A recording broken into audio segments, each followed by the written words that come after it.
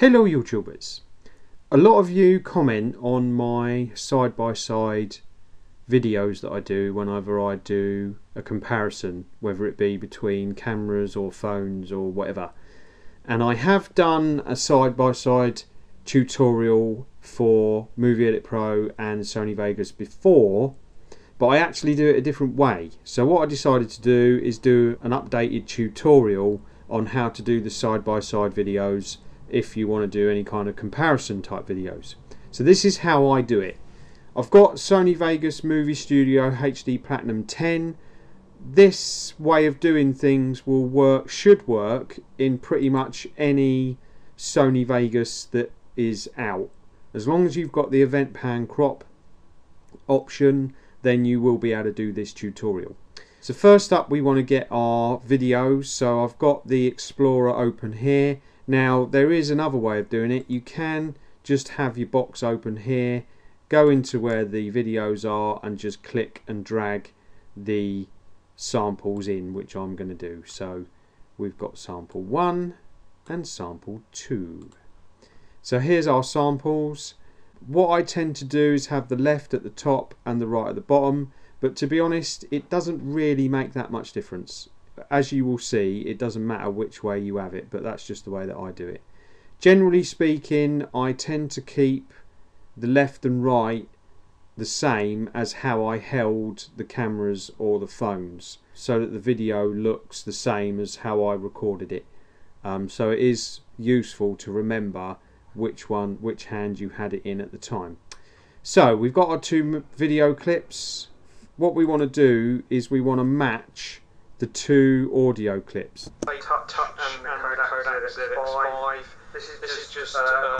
Now, as you can hear, they're they're not in alignment, and basically you want to get them in aligned. So we'll do it so that we can only see the audio by clicking on these little squares here. Minimize track height. That's what you want to use, and then you just click and drag so that the timeline is bigger. Now I use this here as a guideline for where I want to sort of put the audio. So we shall just put it there and you move it to about there. Let's test it. Okay this is a test shot between the Kodak Play Touch and the that is perfect. Basically what you want it to sound like is as close to one audio track as possible. Now the reason you're doing this is not so much for the audio, it's more to make the two videos be in alignment. So that when you're moving your cameras around um, the room or wherever you're moving them it's so that they're both moving at the same time. So that you get the pictures as identical as possible. And that's the reason why we align up the audio because it's easier to do it that way than to try and align up the videos. Right, so now you've got your videos aligned. We just shrink down the audio because we don't really need that at the moment. Now what you want to do is zoom out, which you can do using the zoom in time buttons down here at the bottom or if you've got a trackball on your mouse you can do that as well. We've got our two videos here. Let's just open up the preview window a bit. You want to split the video into threes. So you go to about a third of the way into the video and press, well let's take it about there, press S to split on both tracks and then do about halfway through the next bit, press S to split, S to split, then you can delete that one and delete that one. All you do is click over the video clip and press the delete button and that'll delete it. Um, the reason I've done this is because it's an easy way of doing it other than, you know, because it's the first part that you want to change, not the second bit, because we want to be able to view this as normal later on. So now we go back to our first bit of video and you want to go to the event pan crop option which is at the end of the video clip. Click on that and it brings up this. Go to maintain aspect ratio and you want to click on that and go down to no.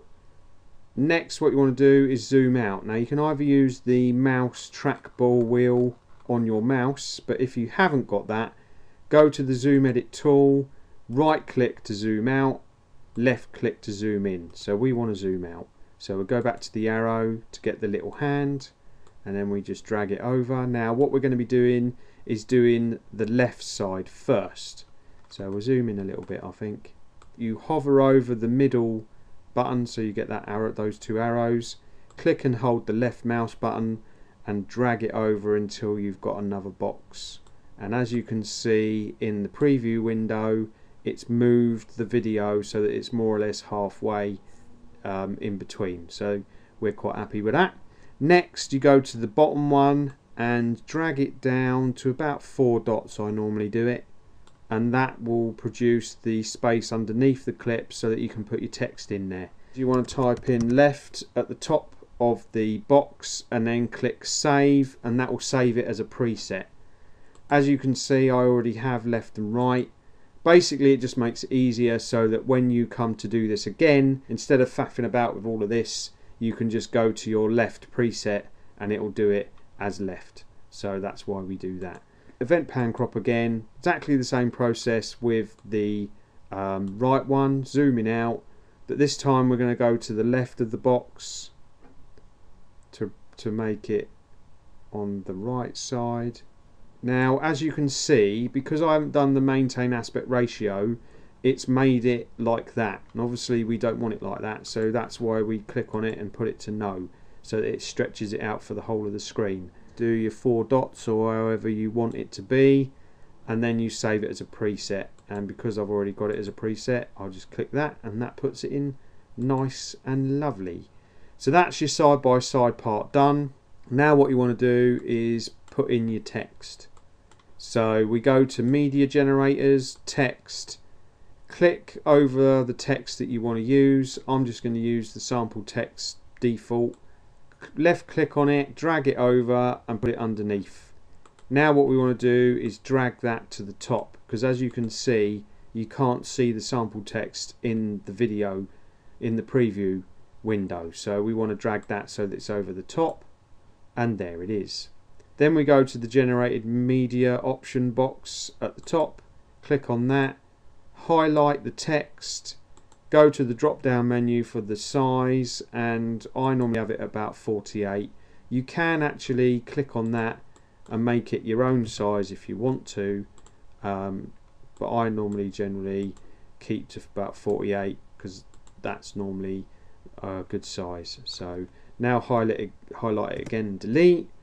So now we put in side one, space, space, space, space, space, space, space. Now as you're doing this, you're having a look at the preview window to see where the text is. And as you can see, it's not really where we want it to be. So you go to placement, click and drag the text down to the black shaded area and then just basically put it where you want it. If it if you need to adjust it then just delete or use spacebar to adjust it that's the text done normally what I do is have the side the text throughout the whole of the side by side then when I put in the text for the next part of the video generally what I'll do is um, have the text down the bottom of the video and I'll fade it in so that half of the video is you have the text at the bottom and the other half of the video you don't have any text at all. So side one, video and sound.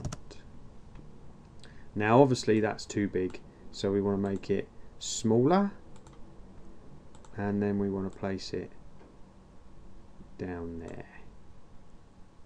And so there you have side one video and sound, side by side text, as it goes into the second part of the video you don't have any text at all so you can see the best of it.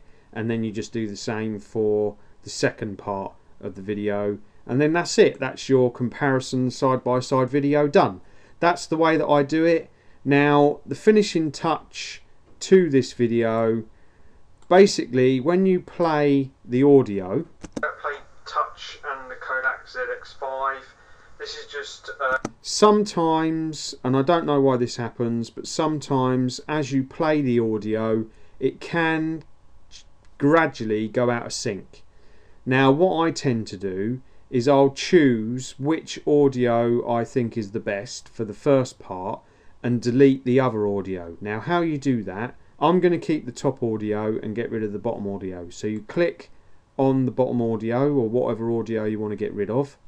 You press U to ungroup, click on it again, and press delete, and that will delete the bottom audio. Test shot between the Kodak Play Touch and the Kodak ZX5. So now you've only got one piece of audio and you won't get any echo in or anything going out of sync or anything like that. Generally speaking, I find that the video tends to sort of not be affected that much, but the audio can sometimes go out of sync. So that's why I get rid of the bottom audio. Obviously, it's up to you the way that you want to do it. This is a very basic guide on how I would do it. Like I said at the beginning of the video, this will work pretty much in every version of Sony Vegas that there is, whether it's old or new. As all you need is the event pan crop option, really. That's the only major one that you need. So being able to get into here is what you need to do the side by side. Okay, well I hope this has helped and um, I hope this has shown you how I do it. I found this way to be the easiest. It's a lot easier than the way that I did it in my other video and I just thought that I would share this with you. Okay, that's enough from me. Hope you've enjoyed this video and I'll do some more later on. Okay, bye bye for now.